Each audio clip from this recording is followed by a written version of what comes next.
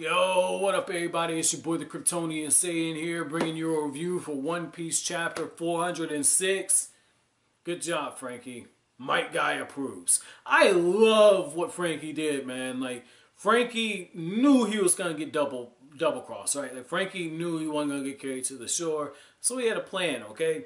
For it's like, yeah, okay, I'll, I'll get us to, to land. And Fukurou, starts sending them towards the tower, right? And Franky plans for this shit.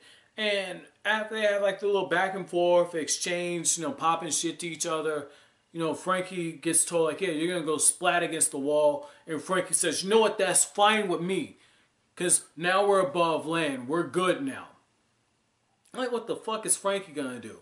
And he's using those colas. And it's kind of like what Yusuke does with his spirit gun early on in Yu Yu Hakusho. He can only use his spirit gun a certain amount of times. And a lot of times, particularly in the Dark Tournament, he used them in very creative ways. Like, for instance, when he was fighting Jin, he fired it into an actual tornado in order to stop the pressure of the wind. That way, he could take away Jin's ability and land the knockout punch. And that's exactly what happens here.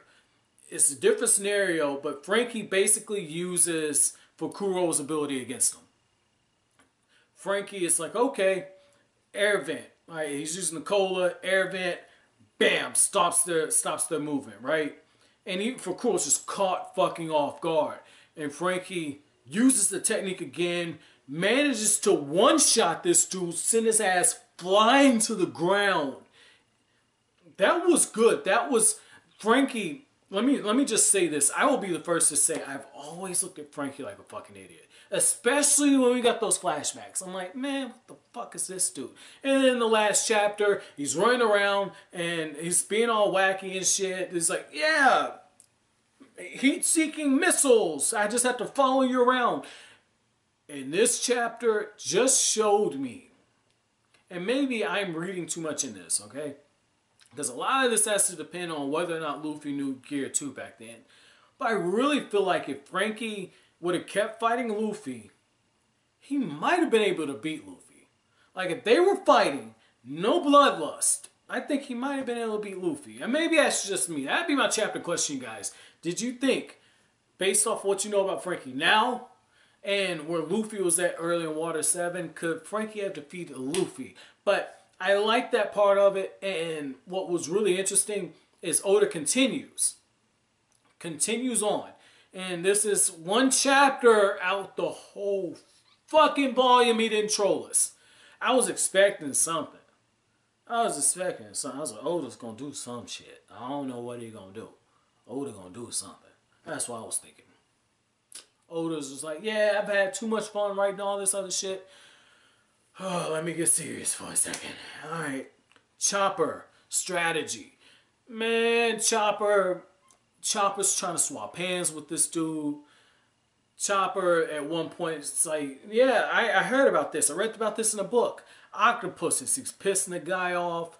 Chopper's trying to think things through. Chopper's like, yeah, I can't use the rumble ball anymore because if I use it again, my body can't hold on to it. So now Oda's is like, yeah, it's OP, but there's consequences to it. I love when he does stuff like this. It's really good it shows us that these characters they have limits.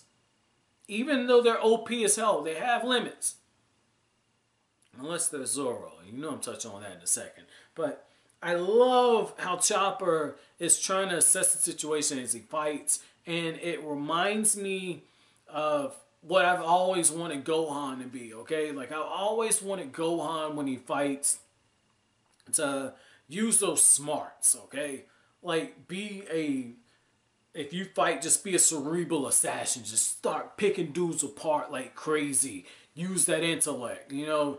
Instead, you know, he just gets those moments. He flies into a rage like he did in the manga when he fought the Cell Juniors and doesn't say anything, just hunts them down. That's very close to what I wanted. Hunts them down, guts, gore all over the place. I want to see Chopper just have that moment where Chopper finds an opponent kind of like what he did in Alabasta, where he finds an opponent, zeroes in on them, and just picks them apart throughout the whole fight. So I'm I'm interested to see how Chopper is going to get out of the mess he's in. Now I have to go back to Zoro. Because with Zoro, it's like, hey, Usopp, cut off your hand. Usopp's like, what? And it like, yeah, one of us chooses who cuts the hand off. The other one runs. They find Chopper. Chopper sews it back on.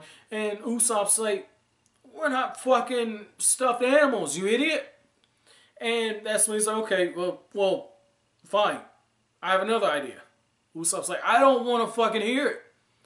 And that's when Usopp says, okay, that's it, that's it.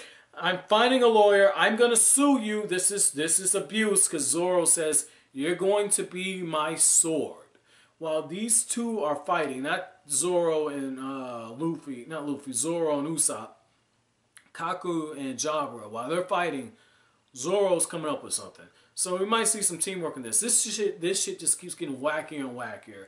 But that's it for this review, guys. If you like anything I had to say, don't forget to comment, rate, subscribe, share. Thank you so much for watching. Have an awesome day, guys.